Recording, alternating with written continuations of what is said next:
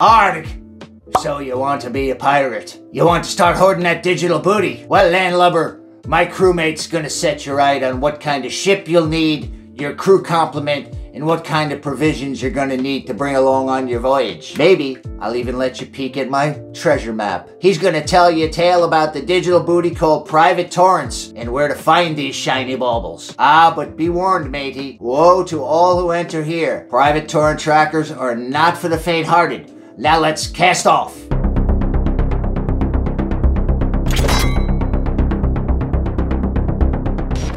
Well, that Captain Mick Claus is one intense guy. Hi, and welcome back to Tech from the Trenches with Mike Harvey. I'm Mike Harvey, and apparently a crew member this week. please support us by pushing all the buttons below so you don't miss an episode. And please share your feedback. We appreciate your support. So, private torrent tracking. What is it? Well, before we get into what private torrent tracking is, let's cover the basics and discuss what a torrent is.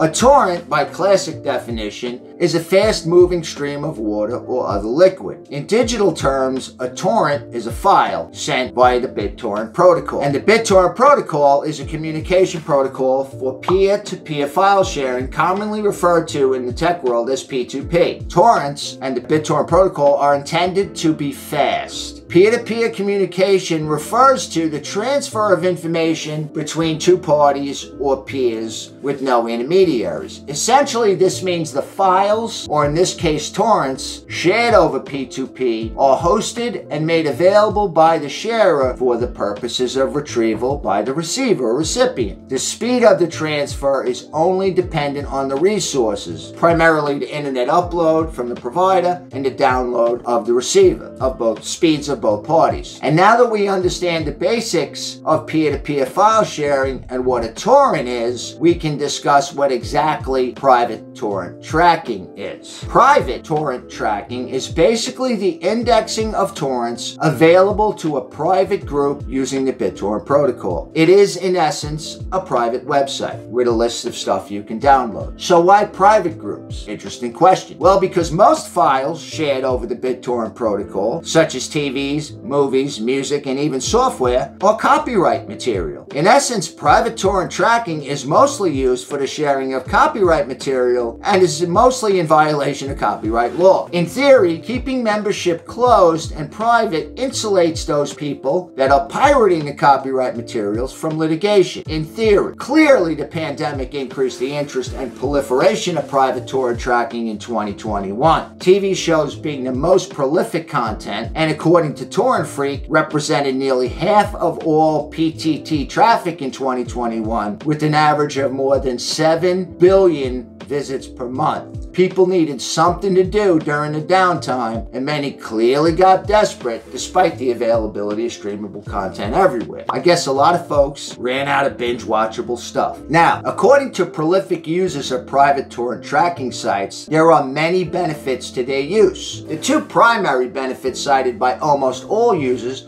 are the quality of the content versus public trackers in terms of volume, accessibility, and durability of the content. This just means that private trackers are better managed, resulting in a better end user experience. The basic premise of private torrent tracking clubs is that everyone contributes by providing content through seeding, which is essentially hosting content on your private network and making it available to all other club members. And you must give more than you take to join a private torrent tracker. You must also be referred by an existing member. In essence, it's a private digital society that shares a common interest in the kind of booty they prefer, like TV shows, movies, music, and software. And these PTTs often cite security as a benefit, though I would argue it's security through obscurity, which means they let you hide in the shadows or wear a mask, eyes wide shutty kind of stuff. And there are many torrent trackers. But as Captain Miklas would point out to you, you need a large, fast boat with lots of storage. And maybe a lawyer on retainer in your crew. If you're interested, see the info section below for links to the most popular PTTs in the categories they cover. Not that I'm promoting these. So I remember when the BitTorrent protocol was introduced back in the early 2000s. And I dabbled a bit, but I saw little practical use for the casual user and virtually none for the enterprise. So I never really took it any further. While my investigation of PTT for this episode episode was an eye opener in terms of the massive growth over the last 20 years, I'm not surprised at how it's being used. To me, for the most part, this PTT stuff is gray web or banditry, pure and simple. And while you may be able to cite examples where the content being delivered is not stolen and or not an infringement on copyright law, let's be honest, those cases are exceptions and not the rule, and you know. I'm not saying I don't use private torrent trackers for moral reasons. Thankfully, I've personally never considered them for purely practical reasons, so I never got to that bridge over the moral bottomless chasm thing. For me, it just boils down to a few key points. Number one, time. There is no free lunch. You will need to commit time to the identification, application, setup, and management for a private torrent tracker to work for you, like a job. So while I like TV, movies, and music, I can get what I need from a streaming service for a few bucks a month and use my time to build stuff and be productive. Two, resources. You need fast internet and a lot of file storage for this to work. My technical resources for my day job, I don't really have the resources to spare for something like this, especially with the trade-off of cost using a streaming service to get what I need. Third, risk. As a technical architect, I am risk averse by nature. I don't take unnecessary risk. And as a security minded person, I believe that security through obscurity is weak security. Not to mention the fact that PTT